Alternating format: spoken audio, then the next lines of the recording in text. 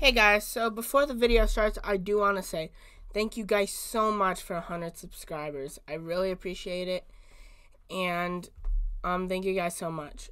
Without further ado, let's get into your video.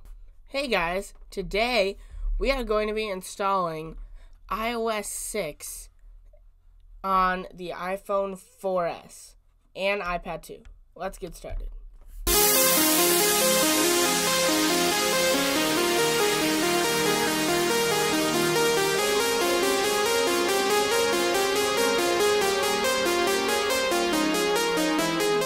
You will need an iPhone 4S or an iPad 2. For the iPad 2, it cannot be a 2, 4 model or um, technically a mid 2012 model. Um, and the second thing you're gonna need is a computer, um, preferably a Windows computer, capable of running a program called 3uTools and iTunes. Without further ado, let's get started. Alright, so the first thing you're going to have to do is jailbreak our 4S. So in order to do this, you're going to have to download one app called 3uTools, the latest version, and you're going to have to get, um, and you're going to have to get iTunes. You can download both of those from the website, from my website, which is linked down in the description. So plug in your iPhone 4S if it comes up with the trust thing, make sure you say trust.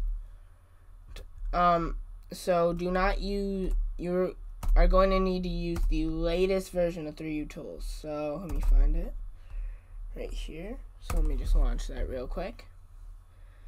Alright, so you can see now it says connecting device and it is connected now.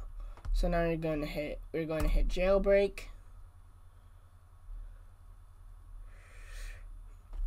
Um, and then you're going to need to do the Phoenix jailbreak. It doesn't matter if you're on 9.3.5 or 9.3.6. This jailbreak on wor will work on either version. So hit simply hit start jailbreak. Now you're going to see it's going to come up. Now it's going to say generating installation package. Here you're going to enter in your enter in your Apple ID and your password. Now this will not actually be saved. This is just so it can make um, a package file for your for Phoenix jail for the Phoenix jailbreak app. So it might take a couple Apple ID tries. For me, it I needed to use a different Apple ID, but once I got it working, it worked. So if you have 2FA set up, you will you might need to get a code which I do have 2FA set up, but I'm um I already have done this previously. So if you've done this previously, it won't ask you again for your 2FA. So just the process shouldn't take too long, but once it has completed, um, then we are going to need to install the jailbreak.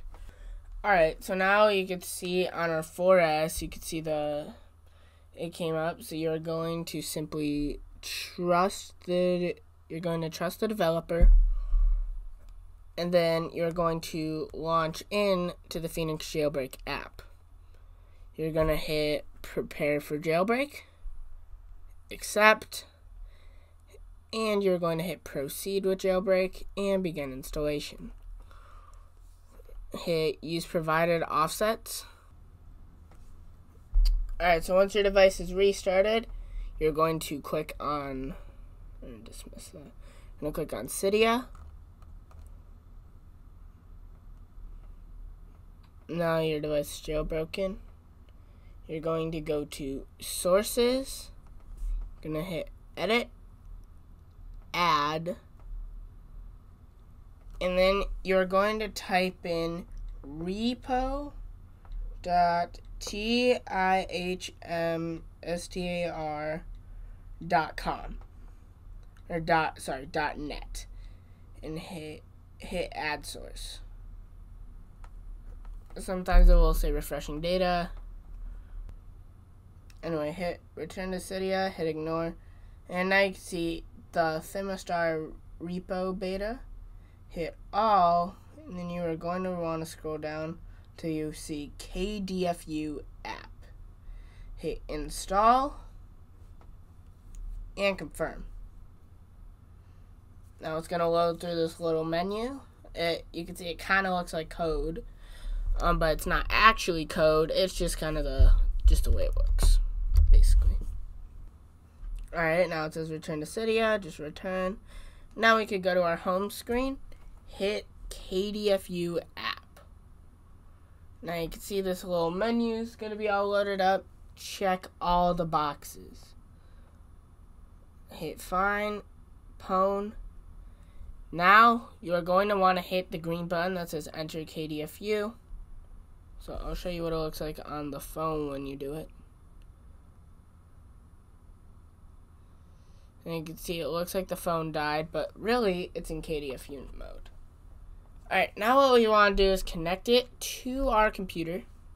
Now you can see it on 3U Tools, and now it's trying to load up iTunes. Cl just cl simply close, or no, simply close iTunes. Now you're going to want to go to the website to back onto my website, and you're going to want to find the older version of 3U Tools, download and install that on your Windows machine, and then you are going to want to also download the i um, the IPSW for your specific device. So if you have an iPhone 4 4S, you're going to download the iPhone 4, comma 1 file. If you have an iPad 2 without Wi-Fi, you're going to figure have to download the iPad 2, comma 1 file, and so on and so on. So launch the older version of 3U Tools. So launch the older version of 3U Tools. I already have it downloaded, but um, so I'm just gonna. I don't really have to worry about downloading it. So now you can see it says um, all connected. You see product type 4, comma 1. That's also how you figure out what your device is. Go to Flash Jailbreak, go to Pro Flash, and hit Import Firmware. Now import that I, IPSW file you just downloaded from my website. Hit Open, and then you can have on Quick Flash mode, and then just simply hit Flash. You can see it's going to say Enter KDF you already in KDFU mode? Hit flash and we anyway. Now you now this is gonna be a while, so so we're just gonna uh, uh stop. Alright, iTunes, ignore it. You're probably gonna want to check the close iTunes box. And as you can see now, we are on our way to iOS 6.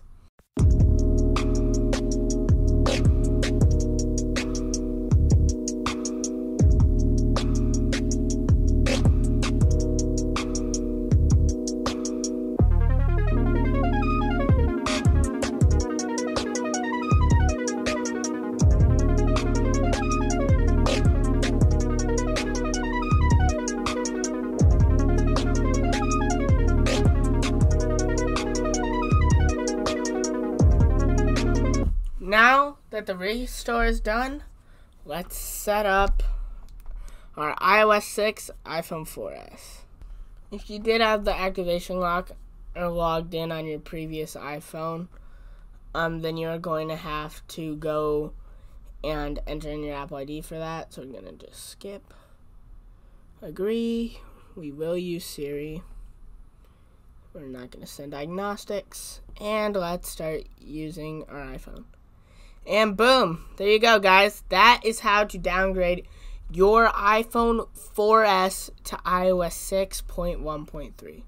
So I hope you guys enjoyed this video. Comment, like, and subscribe. Thank you guys again so much for 100 subscribers. And I'll see you guys again in the next video. Bye.